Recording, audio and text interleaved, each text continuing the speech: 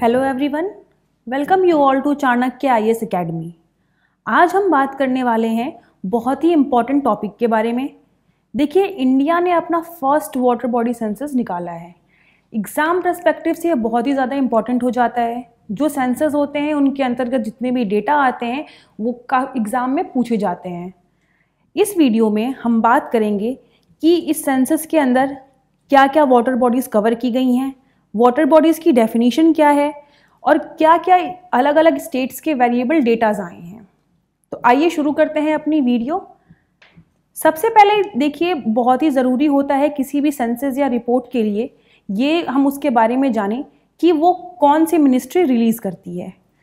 तो इंडिया का जो फ़र्स्ट सेंसेस है, उसको रिलीज़ किया है मिनिस्ट्री ऑफ़ जल शक्ति ने.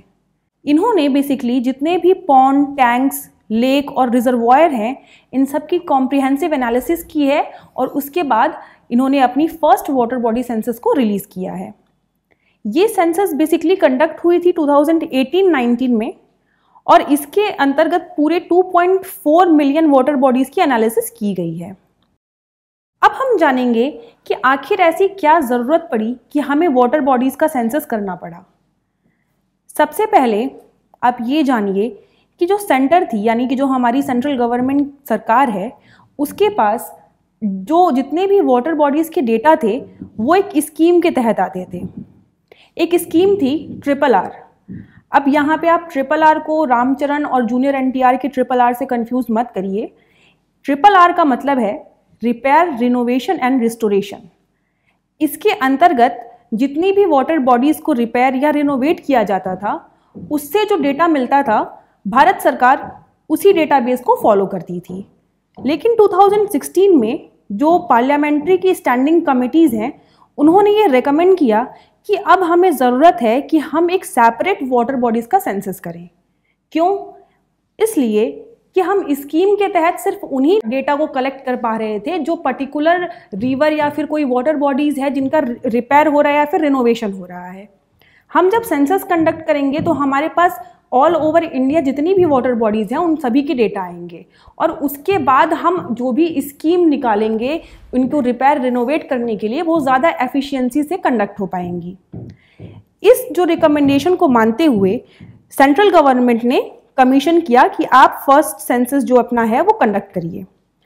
2018-19 में ये पूरी एनालिसिस पूरे सेंसस को कंडक्ट किया गया। और इसके साथ एक और इंपॉर्टेंट चीज़ हमें ध्यान में रखनी है कि इस डेटा सेंसस के अलावा साथ ही साथ माइनर इरिगेशन के लिए भी आपको सेंसस का करना है। तो सेंट्रल गवर्नमेंट ने बेसिकली ऑल ओवर इंडिया जितनी भी वाटर बॉडीज़ हैं, उनकी एनालिसिस की और साथ में छः ऐसे माइनर इरिगेशन प्रोजेक्ट हैं, उनकी भी एनालिसिस की। अब हम बात करेंगे जो डेफिनेशन दी गई है वाटर बॉडीज़ की सेंसस के अंदर। भारत सरकार ने वाटर बॉडी को डिफाइन किया है। उन्होंने कहा है कि ऐसी कोई भी नेचुरल या मैन मेड वाटर बॉडीज जो कि इंडस्ट्रियल ड्रिंकिंग रिलीजियस ग्राउंड या फिर ग्राउंड वाटर को रिचार्ज करने के लिए इरिगेशन पर्पस के यूज़ में इस तरीके की जितनी भी वाटर बॉडीज हैं, चाहे वो नेचुरल हो, चाहे वो मैन मेड हो, लेकिन उनका जो इस्तेमाल है, वो इन सभी कामों के लिए किया जा रहा है, उसको वाटर बॉडी कंसिडर किया जाएगा। जैसे कि टैंक हो गए, रिजर्वॉयर हो गए, पॉन्ड्स हो गए। साथ ही साथ उन्होंने एक और डेफिनेशन दी है, उसमें उन्होंने ये कहा है कि ऐसा कोई भी स्ट्रक्चर फॉर्म होता है या फिर कोई छोटी वाटर बॉडी फॉर्म होती है किसके तहत?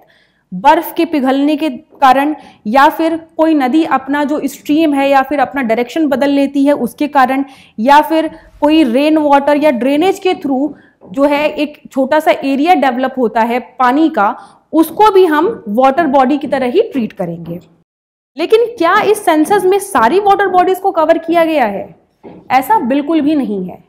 सात कैटेगरी बनाई गई हैं जिसको एक्सक्लूड किया गया है from the definition of water bodies और उनके सेंसस भी नहीं कंडक्ट करवाए गए हैं।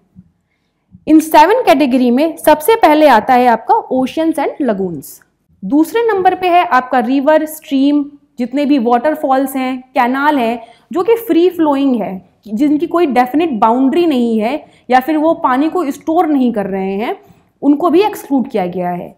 तीसरे नंबर पे आपका स्विमिंग पूल्स को एक्सक्लूड कर दिया गया है।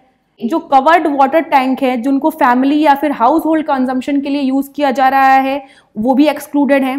साथ ही साथ, कोई ऐसा वाटर टैंक जो कि कोई एक इंडिविजुअल फैक्ट्री ओनर खुद के कंजम्पशन के लिए यूज़ कर रहा है छठवां है कि कोई भी ऐसी टेम्प्ररी वाटर बॉडी जो कि डिगिंग या फिर माइनिंग के पर्पज से बनाई गई हो, या फिर आप देख लो ब्रिक किल्स या जहाँ पे ईंटें बनती हैं, वहाँ पर भी ऐसी छोटी छोटी डिग करके वाटर बॉडीज़ को क्रिएट किया जाता है क्योंकि उन इंडस्ट्रीज़ में पानी का काम लगता है।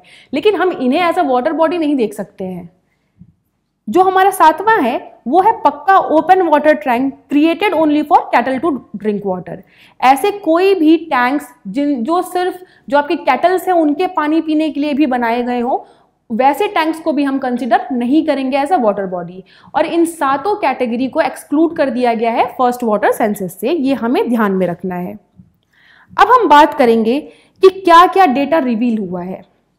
देखिए जो ये सेंसस है इसमें जो सबसे पहले और सबसे इंपॉर्टेंट पॉइंट ये है कि इन्होंने पूरी 24 लाख 24,540 जो वाटर बॉडीज हैं उनकी एनालिसिस की। अब इस 24 लाख 24,540 वाटर बॉडीज में से 38,496 जो वाटर बॉडीज हैं यानी कि ये हो गया 1.6 परसेंट जो वाटर बॉडीज हैं वो एनक्रोज्ड हैं। अब देखिए एनक्रोच्ड का मतलब यहाँ पे क्या होता है? एनक्रोच्ड का मतलब होता है, अभी आपने देखा होगा कि यमुना एनक्रोचमेंट का जो दिल्ली इशू है, वो काफ़ी ज़्यादा हाईलाइटेड है। एनक्रोचमेंट से क्या होता है कि कोई रिवर है, उसके आसपास की जो जगह है, जो ज़मीन की जगह है, वहाँ पे लोग धीरे धीरे बसने लगते हैं। और उससे क्या होता है कि वो और नदी के नज़दीक जाके बसने लगते हैं। वहाँ पे और पॉल्यूशन क्रिएट होता है, जिसकी वजह से जो वो वाटर बॉडी है, उसका एरिया कम होने लगता है और वो डिप्लीट होने लगती है। इसी को कहते हैं इंक्रोचमेंट तो भारत में टोटल 1.6 परसेंट वाटर बॉडीज जो हैं वो एनक्रोच्ड हैं. दूसरा पॉइंट यहाँ पे ये बता रहे हैं कि ये जो 1.6 परसेंट वाटर बॉडीज हैं, इनमें से 95 परसेंट जो एनक्रोच्ड वाटर बॉडीज हैं, वो रूरल एरिया में पाई जा रही हैं. देखिए रूरल एरिया में पाई ही जाएँगी ये लॉजिकली है, क्योंकि ज़्यादातर नदियाँ तो आपकी रूरल एरिया में जितनी भी वाटर बॉडीज़ हैं, वहीं क्रिएट होती हैं. अर्बन टाउन्स में तो बहुत ही कम जो है वाटर बॉडीज़ हैं। इस कारण से जितनी भी ये 1.6 परसेंट एनक्रोच्ड वाटर बॉडीज़ हैं, उनमें से 95 percent water bodies rural area को बिलोंग करती हैं। ऑलमोस्ट 63 परसेंट वाटर बॉडीज़ जो हैं, वो less than a quarter of area under encroachment है। देखिए, जो पॉइंट है, इसमें ये बता रहा है कि दो टाइप के इंक्रोचमेंट है। अब ये जो क्वार्टर है, ये क्वार्टर एक मेज़रमेंट है कि कितना एरिया इंक्रोच किया गया है। तो 63 परसेंट जो वाटर बॉडीज हैं, उनमें एक क्वार्टर से कम एरिया इंक्रोचमेंट के अंदर आया है। लेकिन जो 12 परसेंट वाटर बॉडीज हैं, उसमें आप तीन क्वार्टर से ज़्यादा जो है एरिया अंडर एनक्रोचमेंट है। तो आप समझ सकते हैं कि जो 12 परसेंट जो वाटर बॉडीज़ हैं, उनके अंदर एनक्रोचमेंट बहुत ही ज़्यादा हो चुकी है। आप इसे इस तरीके से भी समझ सकते हैं। बाकी यहाँ क्वार्टर का ज़िक्र मैं फिर से बता रही हूँ मेज़रमेंट के लिए किया गया है कि कितने लेवल का एरिया इंक्रोच किया गया है।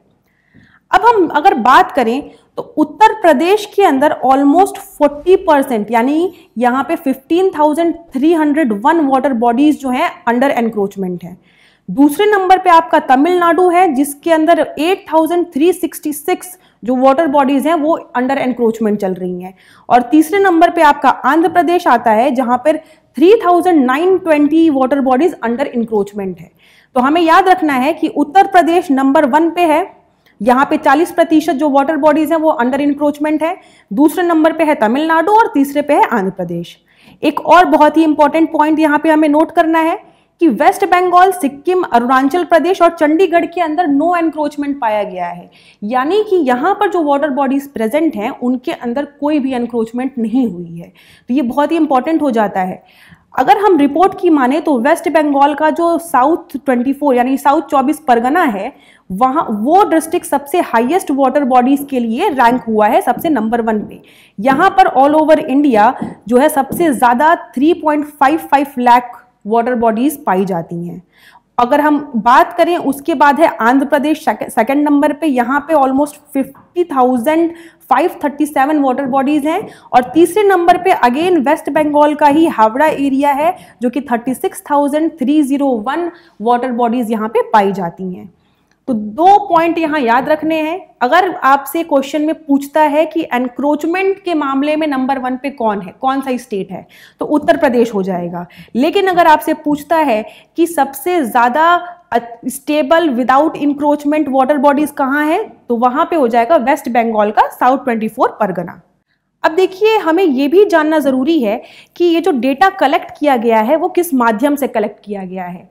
क्योंकि भारत में अब कई सारी नई टेक्नोलॉजीज़ भी आ गई हैं सैटेलाइट है जियो टैगिंग है मैपिंग है तो इन सबसे भी डेटा कलेक्ट होता है। लेकिन ये जो सेंसस कंडक्ट किया गया है, ये बिल्कुल ट्रेडिशनल मेथड पे कंडक्ट किया गया है। ये पेपर बेस्ड मेथड था। इसके अंदर हमने तीन शेड्यूल कैटेगरीज डिवाइड की। सबसे पहले विलेज शेड्यूल दूसरा है अर्बन शेड्यूल और तीसरा है वाटर बॉडी शेड्यूल इसको हमने ऑन पेन और पेपर इस कैटेगरी के अंदर जो भी डेटा मिले हमने उसको लिखा।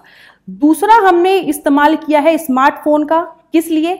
स्मार्टफ़ोन के ज़रिए हमने जितनी भी बॉडीज हैं, उनके लैटिट्यूड और लॉन्गिट्यूड का पता लगाया है। साथ ही साथ हमें फ़ोटोज़ लेने के लिए भी एज यू नो कि स्मार्टफ़ोन से क्या क्या काम होते हैं तो वो सारी चीज़ों की एनालिसिस करने के लिए हमने स्मार्टफ़ोन का भी यूज़ किया है। आई होप आपको अच्छे से हर एक चीज़ समझ में आ गई होगी। तो ज़्यादा से ज़्यादा आप देखें इस वीडियो को, एक से दो बार देखें, तभी आपको ये सारी चीज़ें याद रहेंगी। प्लीज़ हमारे चैनल को सब्सक्राइब कीजिए, वीडियो को लाइक कीजिए और शेयर कीजिए ज़्यादा से ज़्यादा and don't forget to comment thank you so much don't forget to like share and subscribe to our channel and press the bell icon to never miss an update